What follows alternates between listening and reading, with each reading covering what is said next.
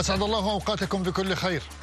لم يتوقف التوتر بين الاقتصادين الأكبر عالميا الولايات المتحدة والصين الشعبية حتى تجدد مرة أخرى بعد إعلان رئيسة مجلس النواب نانسي بيلوسي زيارتها المزمعة لجزيرة تايوان.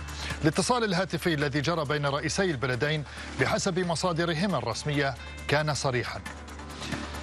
بيد أنه لم يهدئ الأمور إن لم يكن فعلا قد عزز التوتر. فقد حذر شي بايدن قائلا من يلعب بالنار يحرق يديه. ورد بايدن بأن موقف الولايات المتحدة من تايوان لم يتغير. فماذا تريد كل دولة من الأخرى؟ وهل التفاهم وارد أم أن العالم على أعتاب مواجهة محتملة جديدة أو على أقل تقدير؟ هي مقدمات لحرب باردة بين الطرفين.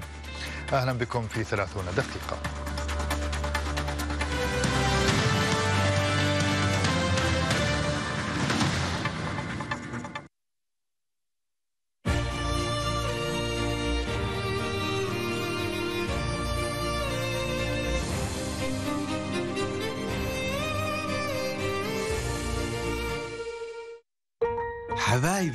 هذه حكاية داوني المركز الكل في واحد الجديد. اللي معاه دايما الغسيل زي ما نحب نريد. مع داوني المركز القوة ثلاثة مرات أكبر. والانتعاش يدوم لأيام أطول. والنعومة أكثر. والكوي أسهل كمان. كل المزايا في واحد. يا سلام. وعشان ما نعيد ونزيد الحل هو داوني المركز الكل في واحد الجديد.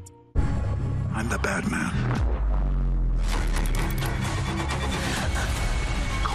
Call the contract. I don't hurt children, ever. Trafficking, Vincent Sierra. I can't keep doing your job for you. Who is this? You're too slow to make them pay. I want justice. We all have to die. What's important is what you do before you go.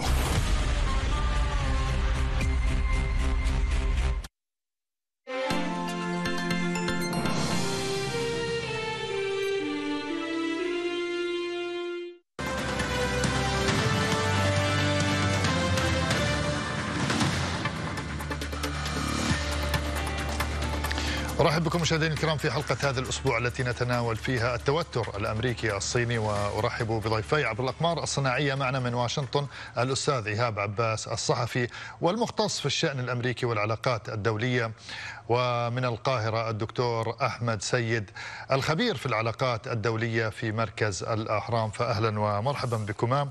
وأبدأ من واشنطن حقيقة مع الأستاذ إيهاب عباس. أستاذ إيهاب يعني المتابع يقول لك العالم يمر بتضخم غلاء ارتفاع أسعار الحبوب. ومع ذلك نرى يعني زيارة يتم الإعلان عنها من السيدة نانسي بيلوسي رئيسة البرلمان الأمريكي إلى تايوان. ما هي مصلحتهم من هذه الزيارة؟ وما مصلحتهم أصلا من التصعيد في هذه الأثناء؟ نعم أهلا بحضرتك دكتور سهيل واهلا بالضيف العزيز من القاهرة وبالمشاهدين اينما كانوا. في البداية نوضح أن الزيارات الأمريكية على مستوى السياسيين لم تنقطع لتايوان خلال السنوات الماضية بكل حال. ولكن اليوم هناك تصعيد في هذه الدبلوماسية التي تذهب إلى تايوان من قبل الولايات المتحدة الأمريكية في شكل المسؤول الثالث في الولايات المتحدة الأمريكية بعد الرئيس ونائبته تأتي نانسي بيلوسي كالمسؤول الثالث داخل الولايات المتحدة الأمريكية في أروقة السياسة. وبالتالي يعد تصعيدا دبلوماسيا. الغرض منه هو إبداء الدعم الكامل لتايوان في مواجهة الصين. ولكن هناك غرض مبطن أيضا آخر وهو أن واشنطن في هذه الزيارة وبرغم أنها, أنها تبدو تصعيدا إلا أنها تريد أن تكشر عن أنيابها للصين كي تمنعها من اتخاذ أي خطوات من شأنها أن تقوم بضم تايوان وفتح جبهة جديدة على واشنطن لحرب دبلوماسية ربما تتطور إلى حرب اقتصادية وعسكرية بعد ذلك. لأن اليوم واشنطن لديها جبهة كبيرة مفتوحة بين أوكرانيا وروسيا وتضخ فيها أموالا بالمليارات ودعم سياسي ودبلوماسي واستراتيجي وكافة شيء. فإذا ما تم فتح هذه الجبهة الأخرى في تايوان ستكون وبالا كبيرا على الاقتصاد الأمريكي وعلى السياسات الأمريكية الخارجية وبالتالي ستؤدي إلى ضياع كافة يعني التقدم التقدم الذي حققه الديمقراطيون خلال الفترة الماضية في حكم الولايات المتحدة بالسيطرة على البيت الأبيض وعلى الكونغرس بمجلسيه. لكن هل هذا سيمنع الجمهوريين من التقدم في الانتخابات القادمة في انتخابات التجديد النصفي أعتقد لا سيكون هناك تحول في مسار السياسة الأمريكية خلال شهر نوفمبر القادم وربما سنشاهد الجمهوريين مرة أخرى يسيطرون على مجلس الشيوخ على أقل تقدير. وبالتالي هذه الزيارة العنوان العريض بالنسبة لي هو زيارة استفزاز وتكشير أنياب ربما تأتي أكلها وربما لا. نعم. دكتور أحمد نرحب بك معنا في برنامج 30 دقيقة. يعني نتكلم عن الصين وعن التوتر بينها وبين الولايات المتحدة الأمريكية. طيب اليوم السيدة نانسي بلوسي أعلنت هذه الزيارة. هي ثالث أهم شخصية في الولايات المتحدة اليوم. لكن هل الصين التي تحذر من هذه الزيارة تستطيع فعلا أن تمنع الزيارة؟ هناك كان كلام عن حظر جوي كان كلام عن حتى عملية يعني تفصيلات مختلفة. أتت من الجانب الصيني بخصوص هذه الزيارة تؤكد على الأقل نية الصين منع هذه الزيارة. تحياتي لك دكتور سهيل ولضيفك الكريم. في الواقع أن أن ما يحكم أمريكا والصين بشأن تايوان نستطيع أن نقول أنه سياسة حافة الهوية ولكن حرص من الجانبين على ألا تنفلت الأمور إلى صدام عسكري غير غير محمود العواقب.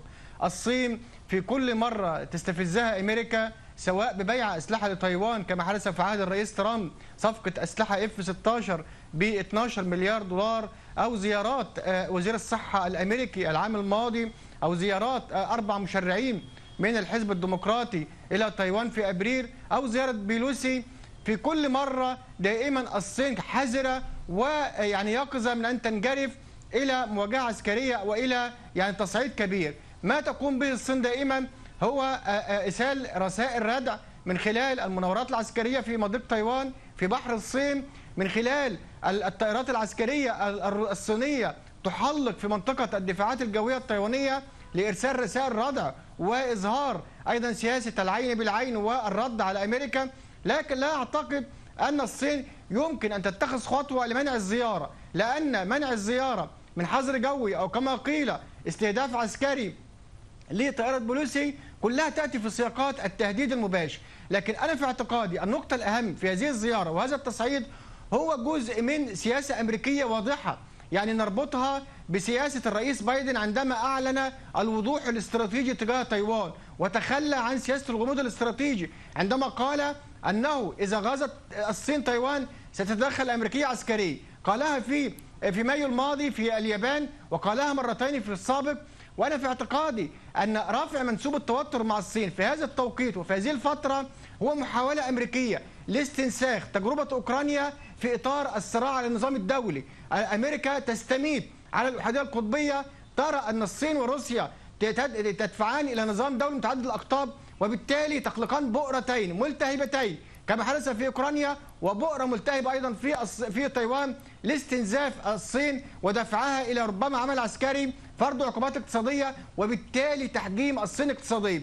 هذا السيناريو أعتقد أن الصين تدركه جيدا لأن الصين تسير بخطوات مدروسة تدريجية هي تقوم بسياسة ما يسمى الرد العين بالعين والسن بالسن عقوبات مقابل عقوبات أمريكية تصعيد أمريكا عسكري مقابل مناورات عسكرية أيضا تحذيرات لكن ليس في اعتقادي أن الطرفين يعني يمكن أن تخرج الأمور عن السيطرة أو أن تتخذ الصين خطوة تصعيدية بشأن الزيارة لأن حتى البيت الأبيض الرئيس بايدن قال أنها ليست فكرة جيدة يعني لكنه حتى لو تعاطيه أيضا.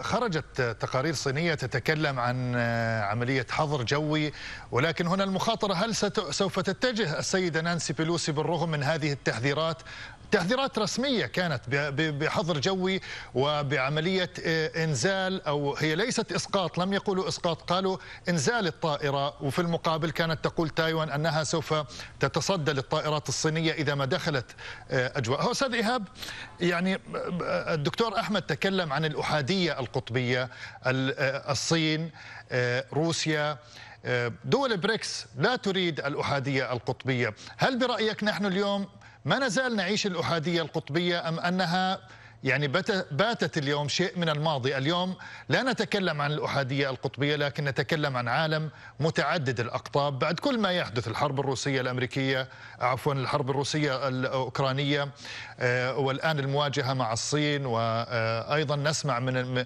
من الهند والبرازيل. يعني آراء واضحة وتجاوز حتى وكسر لل- للعقوبات المفروضة على دولة أو أخرى.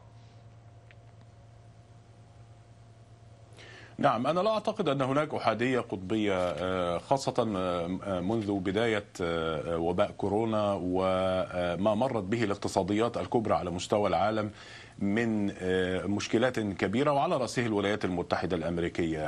أمريكا اليوم بالرغم من محاولاتها أن تكون أو تمارس دور شرطي العالم في بعض الملفات إلى أنها ليست بنفس القوة التي كانت عليها قبل ذلك بسبب الاقتصاد آه، يعني الذي يعاني بشدة كبيرة جدا. آه، دكتور سهيل لو تحدثت إليك عن الاقتصاد الأمريكي في الداخل اليوم لدينا مشكلات كبيرة جدا آه، في مسألة التضخم ومسألة عدم توفر ما يسمى بالكمبيوتر شيبس أو الرقائق الإلكترونية التي تدخل في صناعات كثير من الأجهزة والسيارات حتى بمختلف أنواعها داخل الولايات المتحدة الأمريكية. ومن يسيطر على هذا السوق بالمناسبة هما تايوان والصين. سوق الرقائق الإلكترونية ونحن نعاني هنا. يعني السيارات الجديدة آه، أصبحت تقريبا مختفية من السوق بسبب عدم وجود هذه الرقائق. فالصين لديها قدرات على إيذاء الاقتصاد الأمريكي بشكل كبير جدا. لديها مديونيات للولايات المتحدة الأمريكية بتريليون و300 مليار دولار. ولديها مصانع أمريكية تعمل في الصين بسبب رخص العمالة هناك. إذا توقفت هذه المصانع سيتأذى الاقتصاد الأمريكي بنسبة 80% يعني لن نجد شيء نشتريه ربما من كافة أنواع الأجهزة. والولايات المتحدة تدرك ذلك جيدا. وتعلم أن سقف ال- ال- التصعيد مع الصين في نهاية المطاف محدود. وإلا ستدخل في حرب اقتصادية ربما تعقبها حرب عسكرية. ستكون هناك عواقب وخيمة على الولايات المتحدة وعلى الصين طبعا بكل تأكيد. فلذلك هم آه، آه، يسيرون اليوم سواء كان الصينيون أو الأمريكيون يعني على خط ويحاولون الحفاظ على شعرة معاوية.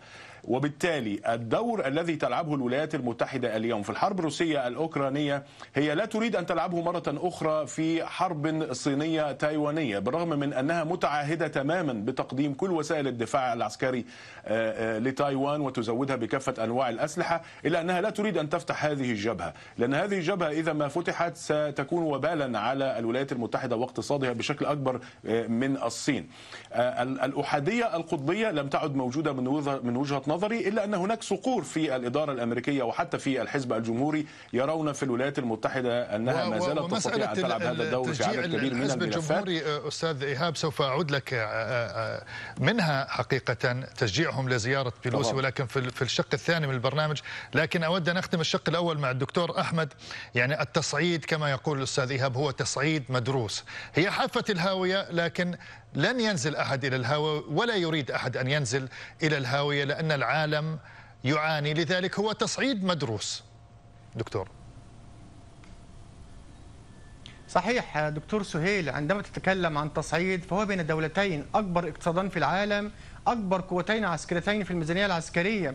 أمريكا ميزانية 760 مليار دولار الصين في 2021 ميزانية عسكرية آه، 300 مليار دولار يعني تقريبا آه، يعني مقارب النصف الصين لديها حاملات طائرات أسلحة ذكية وبالتالي شبح الحرب العسكرية هو شبح خطير يؤدي إلى يعني ربما عواقب غير محمودة. الأمر الثاني أن أيضا تكلفة هذا التصعيد يعني اقتصاديا أمريكا أيضا هي الآن تواجه تضخم معاناة بسبب الأزمة الروسية الأوكرانية بسبب العقوبات وبالتالي هذا التصعيد قد يكون له أيضا تداعيات اقتصادية سلبية قد تؤثر أيضا على فرص الديمقراطيين في انتخابات التجديد النصفي. أيضا في المقابل الصين وأيضا يعني جائحة كورونا عانت أيضا الاقتصاد الصيني وبالتالي هذا التصعيد سيكلفها اقتصاديا وبالتالي هي محاولة لإرسال رسائل الردع. كل طرف لديه ثوابت أن الصين تقول بصراحة تايوان جزء من الصين. لن تسمح باستقلال تايوان. لن تسمح به أن يتجاوز الدعم الأمريكي لتايوان حدود ال- ال- الخطوط الحمراء. دعم عسكري دعم سياسي لكن لا يدفع تايوان إلى الاستقلال. أمريكا في المقابل في اعتقادي هي تستغل ورقة تايوان كوسيلة للضغط على الصين. هي مقلب القط كما حدث في أوكرانيا في ملفات أخرى وبالتالي هنا الحكمة تقول آه، أن من ليس من مصلحة أمريكا يعني تسخين جبهة أخرى في منطقة مهمة استراتيجيا شرق آسيا ولكن يحدث هو العكس.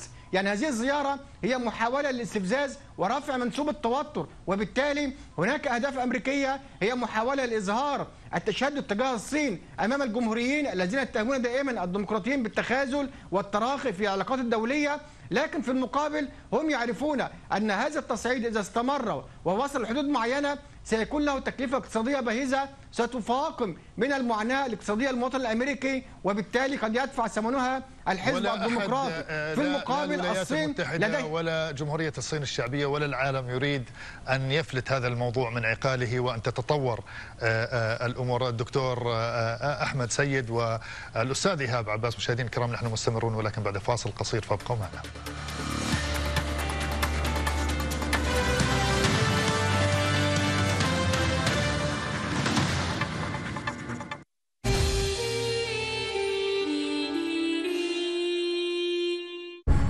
I'm the bad man. Call the contractor. I don't hurt children, ever. Trafficking, Vincent Sierra. I can't keep doing your job for you. Who is this? You're too slow to make them pay. I want justice. We all have to die. What's important is what you do before you go.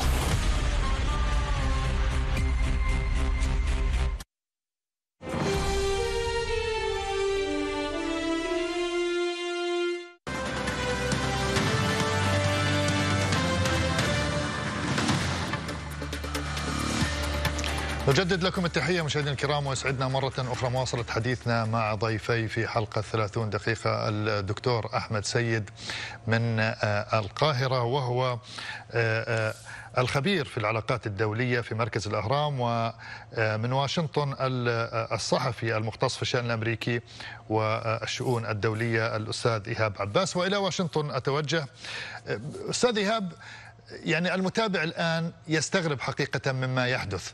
هناك تصريح كان من السيدة نانسي بيلوسي هي من أهم شخصيات الحزب الديمقراطي ولكن يأتيها تأييد من الجمهوريين على الذهاب إلى جزيرة تايوان. هل ترى هذا التأييد يعني كيف يمكن فهم هذا التأييد؟ هل هو لإحراجها يعني هي تعد ثم لا توفي بوعدها؟ هل هو لمصالح داخلية؟ كيف تقرأ هذا التأييد أستاذ إيهاب؟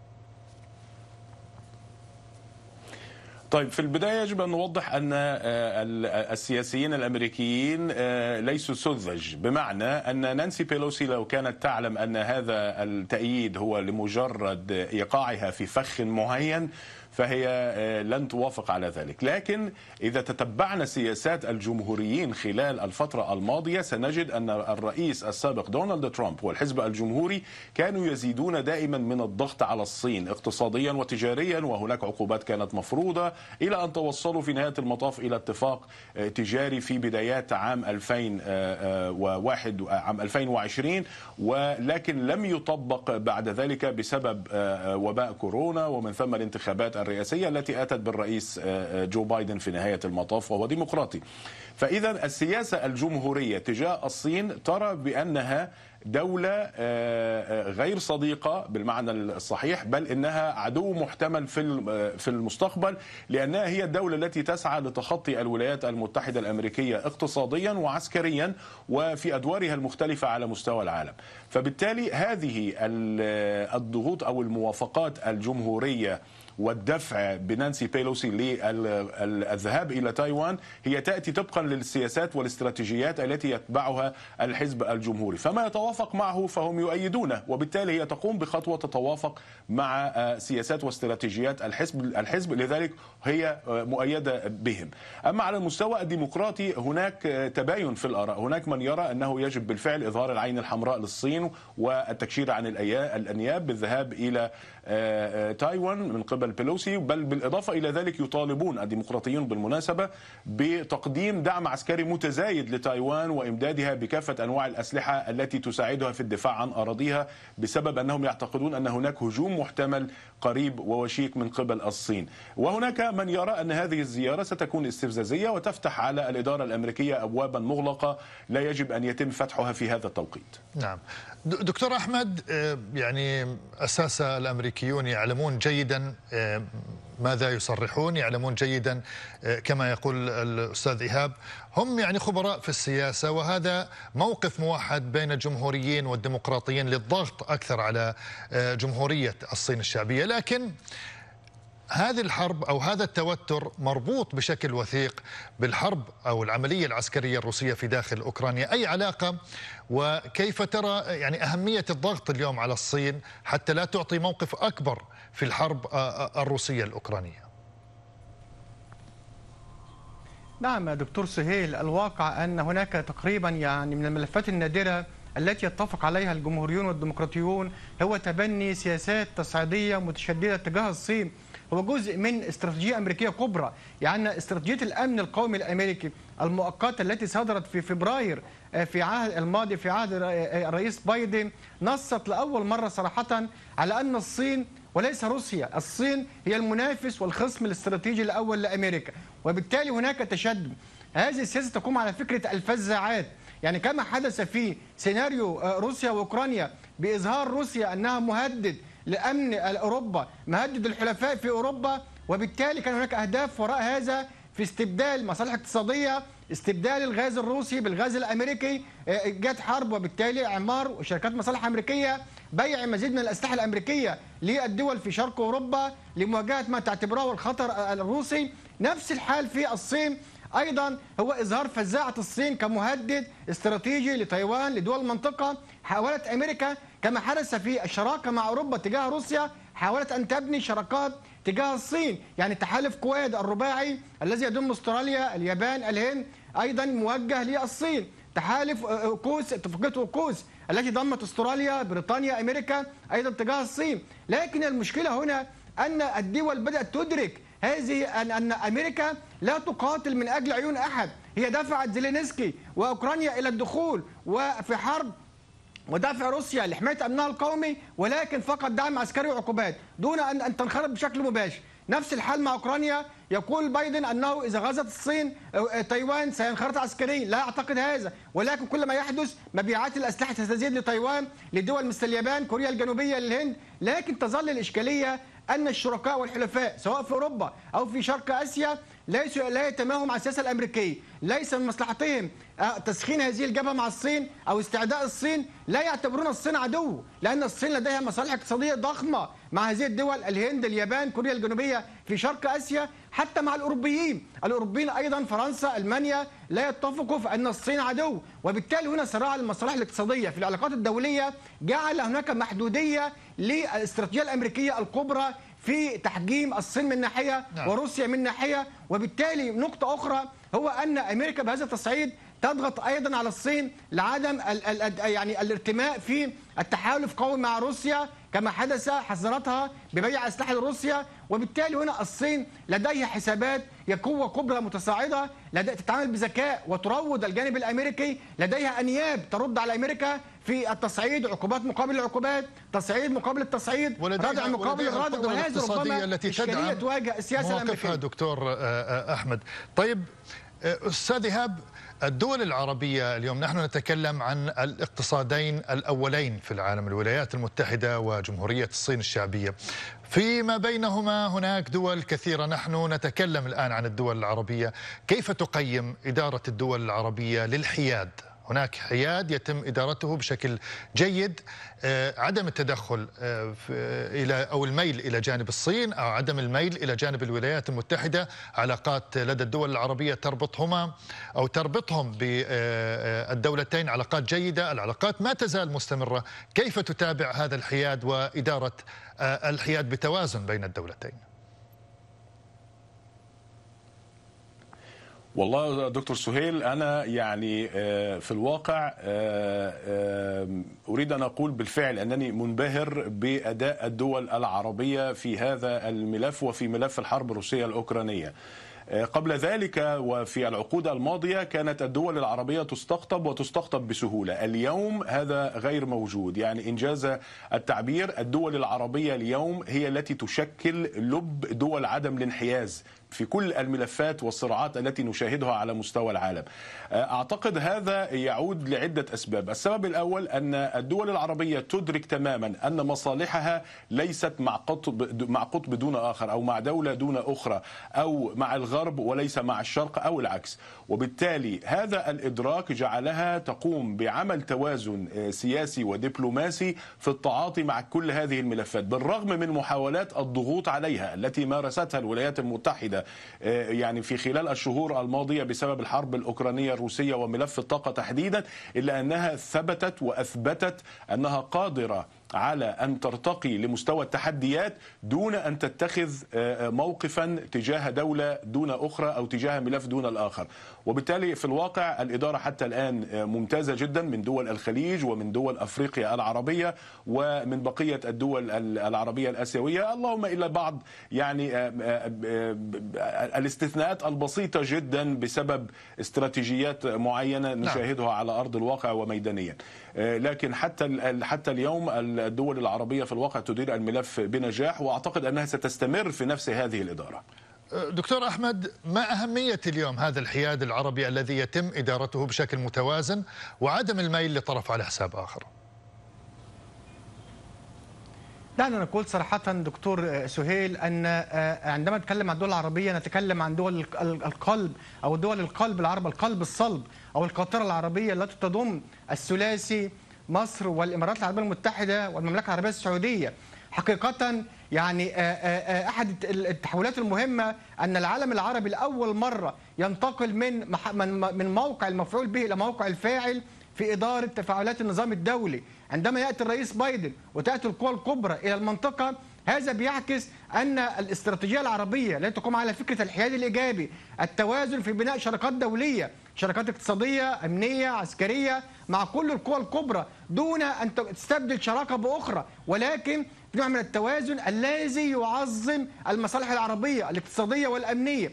هذا التوازن وهذه وهذا التنوع في الشراكات أعطى العالم العربي الدول الثلاث القدرة على أن تصبح هي الضابط الوازن المؤثر في تفاعلات ما بعد الحرب الأوكرانية تفاعلات النظام الدولي.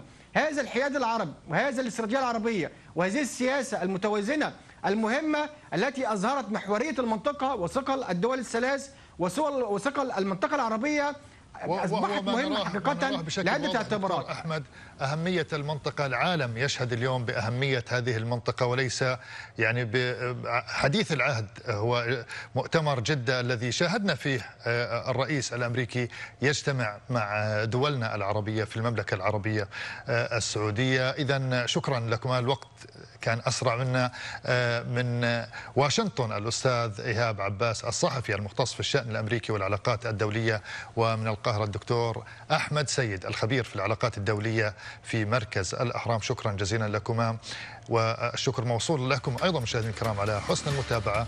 وصلنا إلى ختام الحلقة. دمتم بحفظ الله ورعايته في أمان الله